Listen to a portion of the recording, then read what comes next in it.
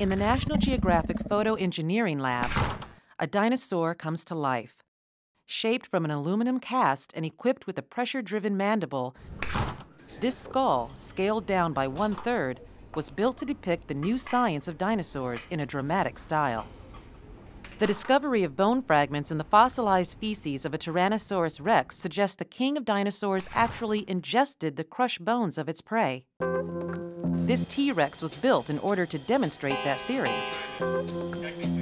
Ostrich bones will be this model's modern day meal as the cameras attempt to capture the bite force of T Rex. When it's time to take the picture, art director Chris Sloan and photo editor Kurt Mutchler enlist photographer Rob Clark. Kurt Mutchler and Chris Sloan are in the same uh, carpool, so I know they just think these things up as they drive home. You know, and like, let's see if he can do that.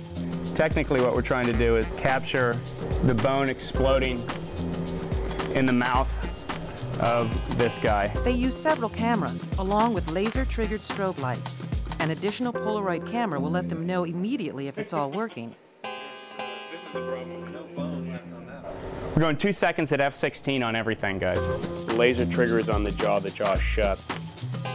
The bone explodes and the strobes go off. One, two, three. It'll take a few bones to get it right. I think it doesn't work. Everything works except for the bone. At one point, it all becomes very technical. You do the pop, pop, pop, but you do it when it hits here, and then when the ball, bone's coming down, you would get the pop, pop, pop, because then it's in pieces. As it goes up, it's not in pieces. So let's fashion the bone on the top. It goes kabam, splinters, and then tut-tut as it goes down. On a project like this, it's all about trial and error.